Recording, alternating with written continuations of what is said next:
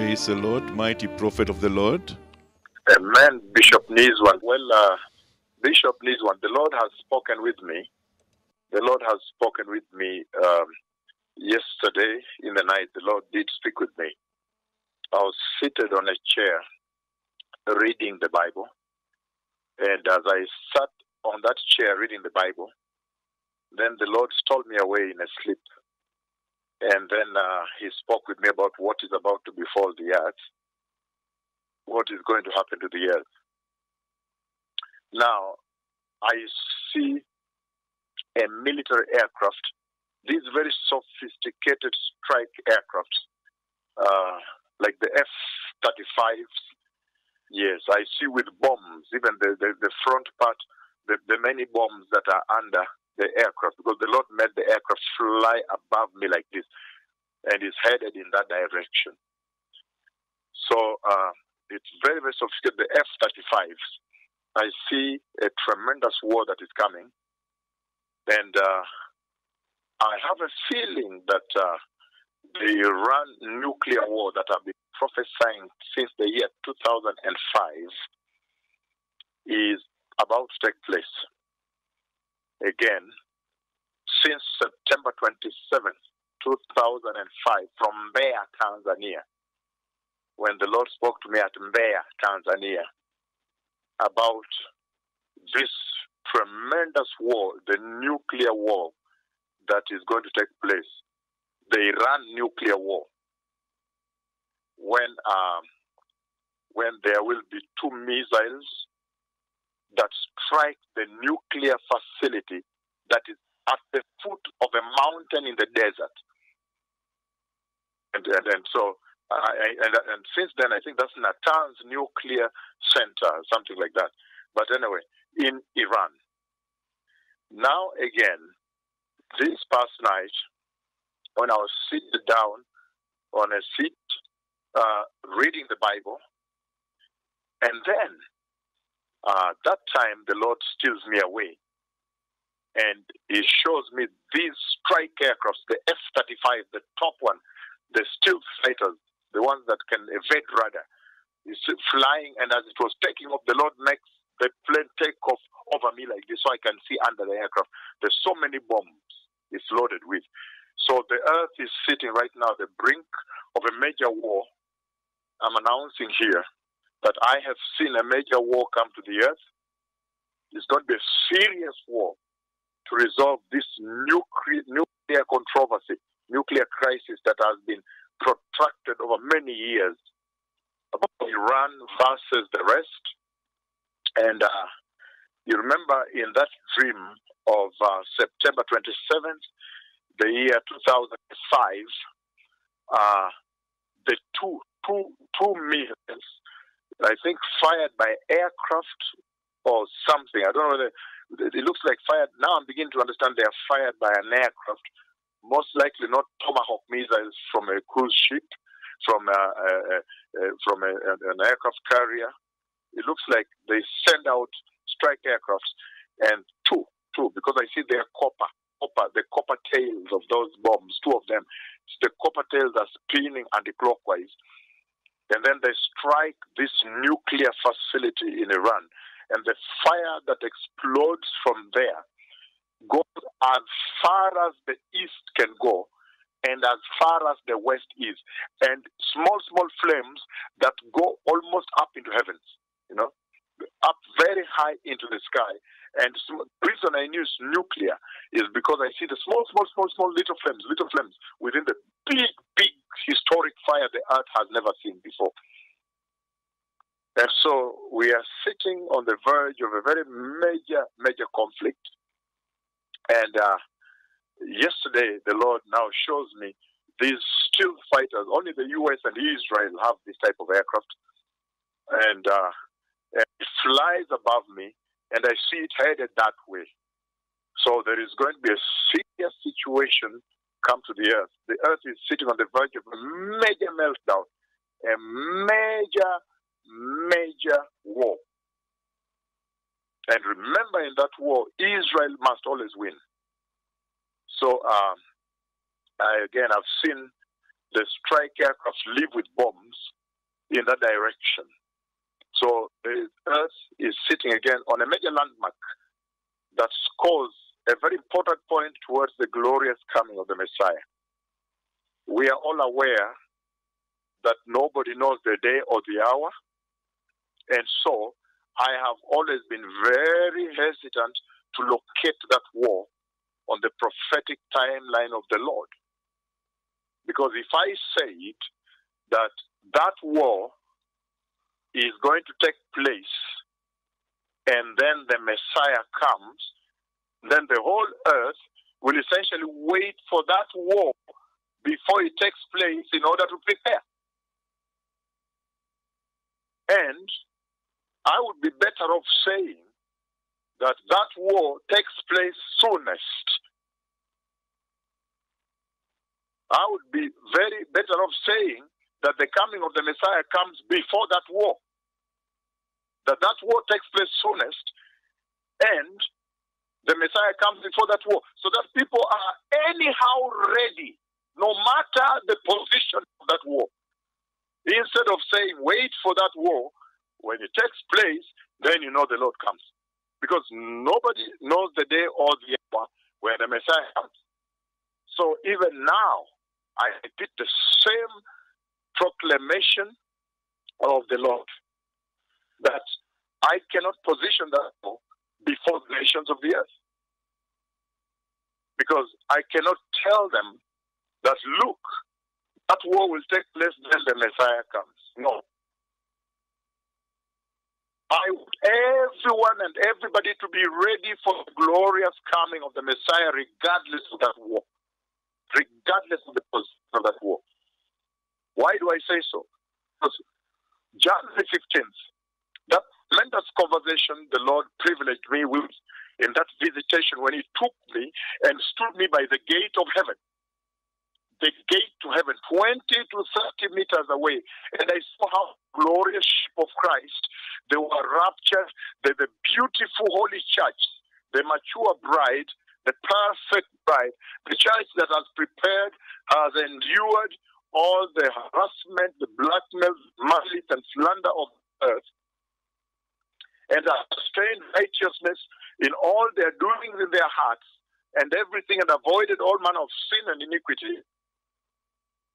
I saw them enter just about two weeks or so, or two to three weeks now. It's coming to three weeks ago.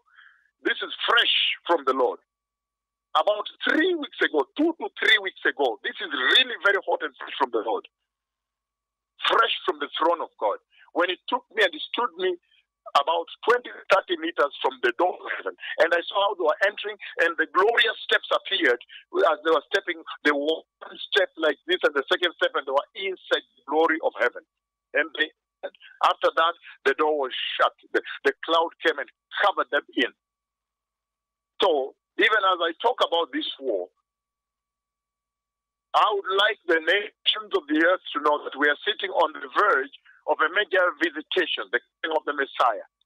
The Lord has taken me now to the door. Now the Lord has taken me to the door. I am standing at the door. I am announcing the coming of the Messiah now from the door, the door to heaven. This is where I'm standing now.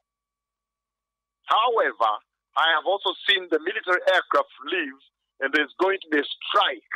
There's going to be an assault, a military assault, you know. The strike aircrafts leave. These look like the stealth bombers, the, the strike aircrafts, the F 35s, those precision aircrafts that have radar, the state of the art aircrafts that can go and do some serious work. I have seen these things and I announce them in your hearing that when you hear these things, you may never harden your hearts. You may now prepare your hearts for the glorious coming of Messiah. What a beautiful time to live in, to have the announcement of the coming of the Messiah reach your ears while your feet are still walking on this earth, on the soil of this earth. To live to hear and to be able to make substantive real gains in preparing in righteousness and absolute holiness and see eternity that when it's all said and done, you have a win win. You lived on the earth, you were born again on the earth, and then you enter heaven into eternity. So this is a beautiful day. These are wonderful tidings of the coming of the Lord. This is great news that is reaching the four corners of the earth at this hour. At this hour, the most beautiful thing is ever for one to be born again, to be a Christian, to live Christian, because we are living in the hour of the church. The hour of the church. This hour belongs church. We are seeing tremendous wonders, tremendous signs. We are seeing our city on the verge of tremendous, a shocking catastrophe, tragedy of famine and drought. And we see how the Lord's rescuing hand is still land to land, bringing rain to them. People may grow at least vegetable and everything. Uh, so the land is gradually submitted fully hmm, under the authority of the Bible. But from the, the, the catastrophe you see in the other places where rain has not fallen, then you understand this was meant to be bad. This was going to be really bad.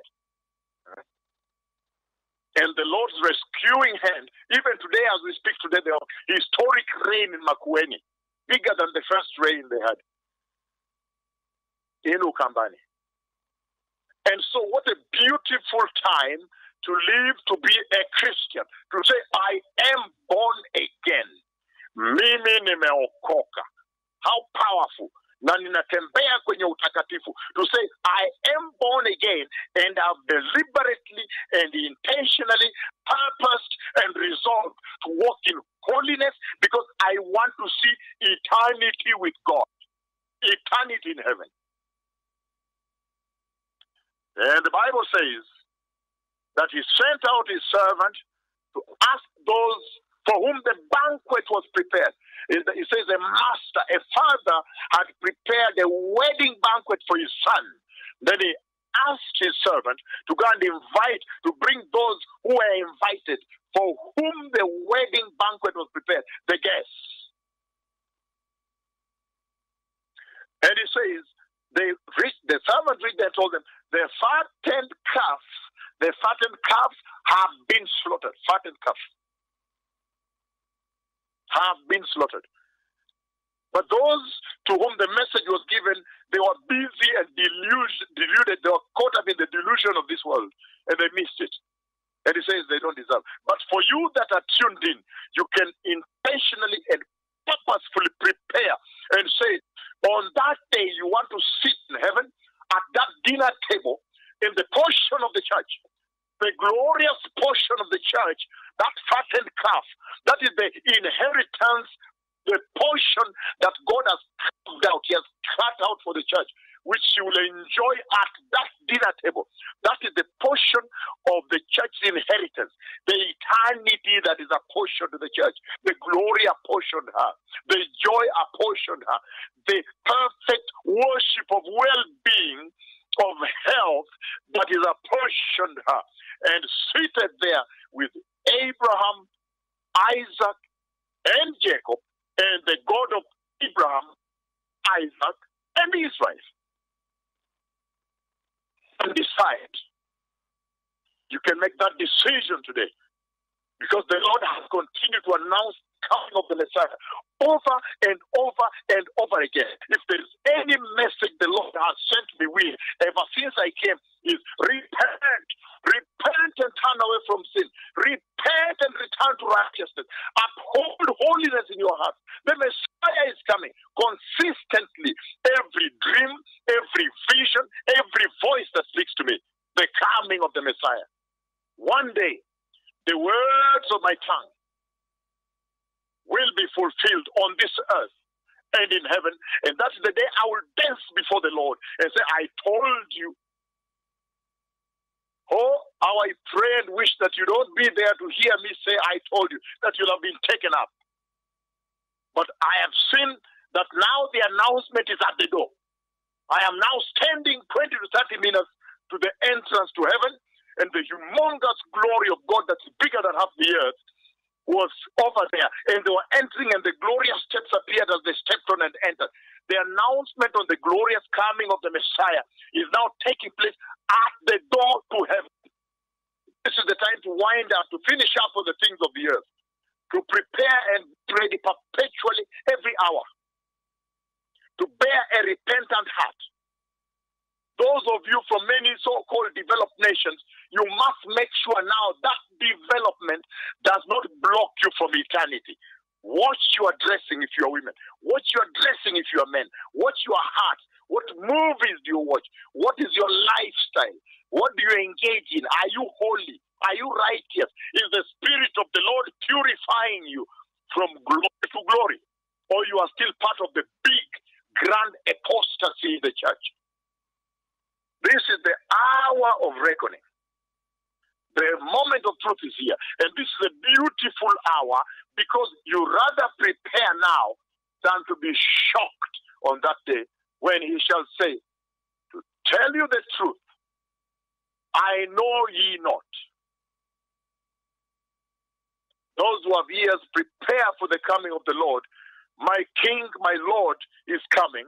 He's coming to take a wonderful holy church, a glorious church, a beautiful church that has been faithful to Him, maintained faith in Christ Jesus, has walked in faith no matter the tribulation of this earth, but has been faithful unto righteousness, has abided herself unto holiness, has lived a separated life. May the Lord bless you. The Messiah is coming. Shalom.